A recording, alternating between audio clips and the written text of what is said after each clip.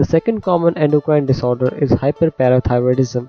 Hyperparathyroidism is an endocrine disorder where there are increased parathyroid hormone in the blood which tends to increase calcium level in the blood as well.